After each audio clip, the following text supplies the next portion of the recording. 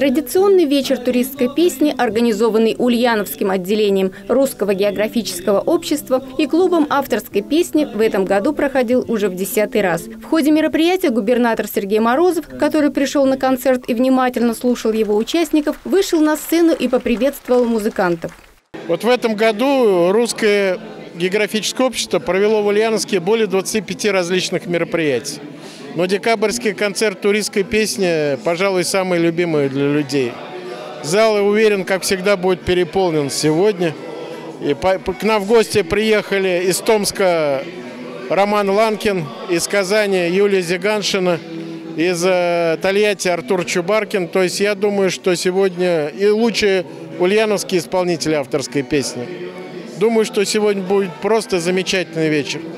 За 40 лет существования Ульяновского клуба авторской песни было организовано множество крупнейших фестивалей и концертных программ. На этот концерт совместный плод клуба авторской песни и РГО пришли не только любители и исполнители авторской песни, но и путешественники, которые тоже неплохо владеют гитарой и частенько выступают. Зал был переполнен.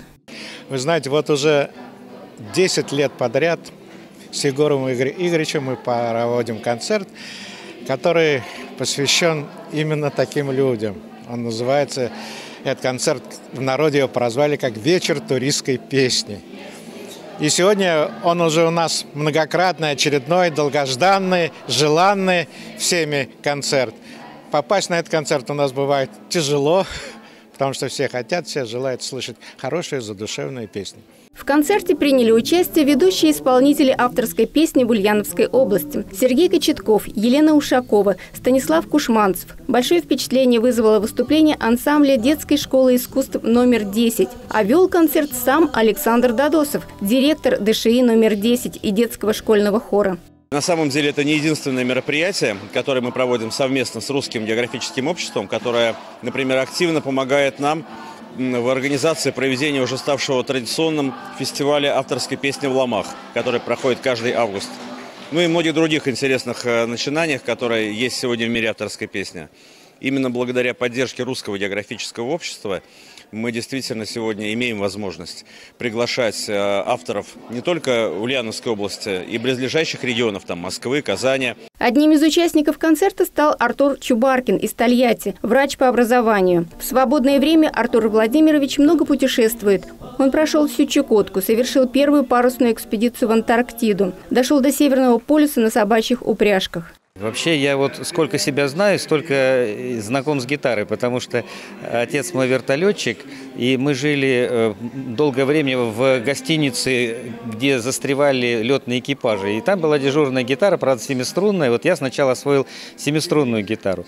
А потом, после окончания школы, переехали в Самару, а здесь Грушинский фестиваль свое взял, перешел на шестиструнную, и э, гитара с тех пор сопровождает меня во всех моих экспедициях. Кульминацией концерта стало выступление исполнителей авторских песен Юлии Зиганшиной из Казани и Романа Ланкина из Томска. Светит незнакомая звезда, Снова мы оторваны от дома,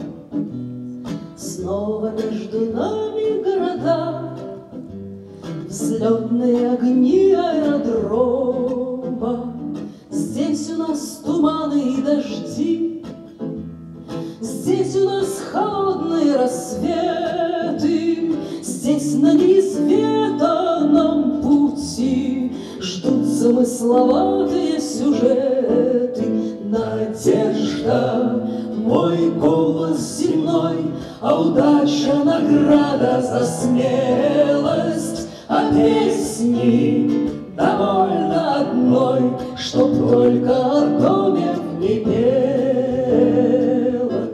Интервью с Романом Ланкиным смотрите в передаче «Персона дня». Ирина Антонова, Юрий Ломатов. Новости Улправда ТВ.